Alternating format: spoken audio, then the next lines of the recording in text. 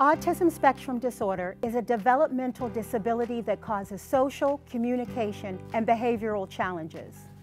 Sadly, recent CDC statistics show that 1 in 68 American children has autism, a 30% jump since 2012.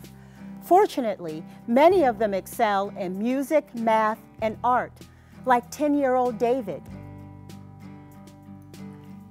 and 12-year-old Josh.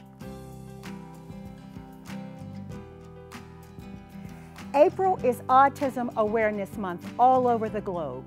This April, let's shine light on autism by joining the Autism Speaks Light It Up Blue campaign. We can turn this disability into a possibility. For more information on how you can get involved, please visit www.lightitupblue.com.